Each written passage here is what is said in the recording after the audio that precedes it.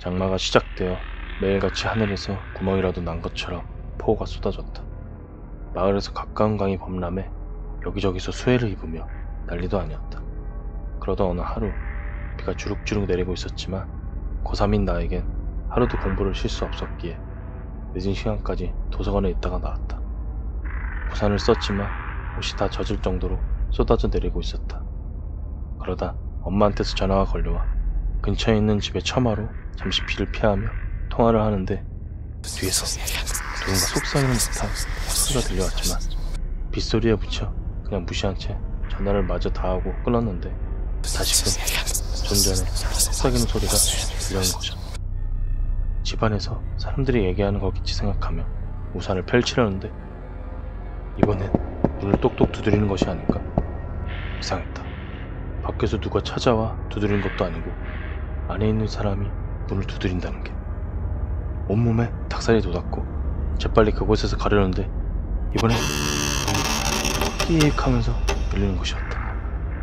뒤돌아보면 후회할 것 같았지만 고개는 내 의지와 상관없이 이미 반쯤 돌아가 있었고 결국 그것과 눈이 마주치고 말았다.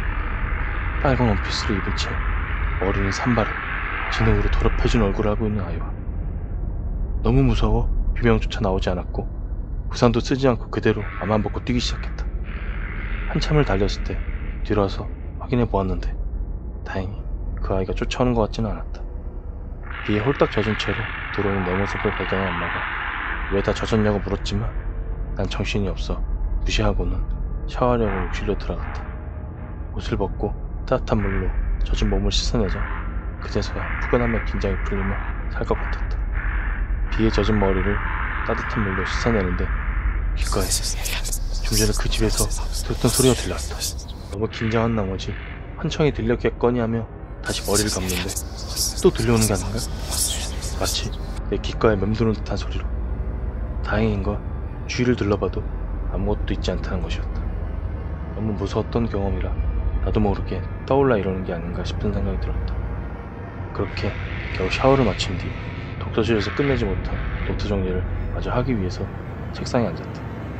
잠시 후 똑똑똑 하는 소리가